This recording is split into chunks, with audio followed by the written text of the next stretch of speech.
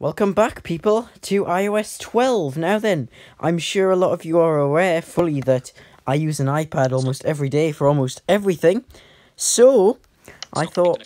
No, that's interesting. Let's put my stocks up there. Anyway, I thought it would be interesting if we uh, took a look around because everything's changed a little bit in terms of voiceover and how you navigate and just for regular people as well. So, what we're going to do is I'm going to open an app here.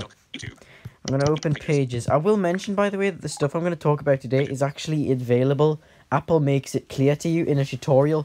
If you have VoiceOver turned on when you go through the iOS 12 setup, either that or you uh, already had it turned on before you update, you'll get a tutorial on how to do this with VoiceOver, but I thought I might as well show you anyway.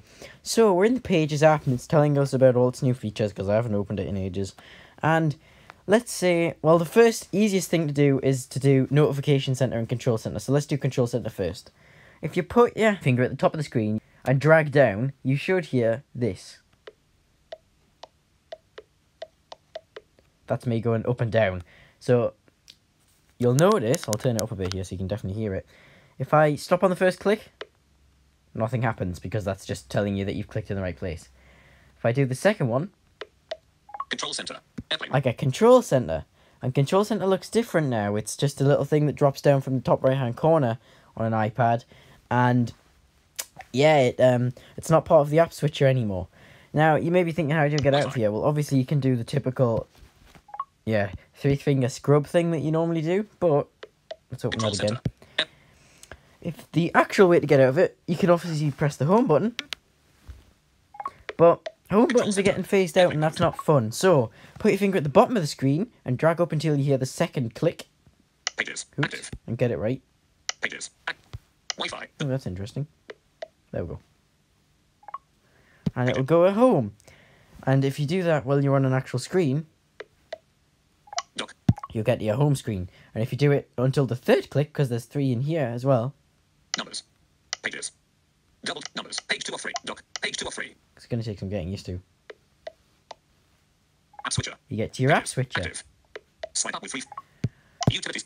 Now then, what if you do three from the top? Well, Notifications. you get Notification Center. And you will notice, by the way, that this is another feature of iOS 12. Everything's grouped together, um, Screen recording. Two. including screen recording and things. So if we go home. That's that. Now you may be thinking, okay, let's go into numbers, for example. Let's say we want to snap something. Oh, oh something's already snapped. Hang on. Let me get rid of calendar. Split view divider. Cat view. Actions available. Split view. Shrink calendar. Uh, Expand. Expand numbers. expand numbers. There we go. Numbers. No. Periodic. Let's say, and I only just figured this out because it, it doesn't actually tell you this in the tutorial, but let's say you want to get the dock up at the bottom like you used to on iOS 11. Well, you don't have to do that stupid two finger swipe up that never works. But what you can do is do this. Browse. Tab. Two of two. There we go. Dock. Numbers. So you have to, um, Dock. basically what you have to do is Pages. you have to, and this is hard to explain, but Selected. You drag up until you hear the third click, and then you drag all the way down off the screen. And something doesn't work. Lift for home. For app switcher. Dock. There we go. You have to kind of go a little bit slowly at the end, but you'll get your dock back up and you can. Calendar the right. Oh, there we go. Pin calendar to the right. Numbers on left. Works the same right. way. What you can also do, and you could do this in iOS 11, but it works a bit differently. If you go to your app switcher App switcher. Numbers. Calendar. Active. Numbers. Calendar. Active. and let's Close numbers. Calendar. close these numbers. because Pages. otherwise it's not going to work. Okay, YouTube. let's Calendar. say I want to snap calendar on top of YouTube. So we take our calendar app 17th of September. and we drag it on top of YouTube, and we wait for it to load. And then we can put it wherever we want. Let's go on the left. No, it doesn't put it on the left anyway, because it's a side app. But what you can do now is, Calendar. Search. Button. Calendar controller. Move calendar to the left. Pin calendar to screen. oh, Move here we go. Move calendar to the left.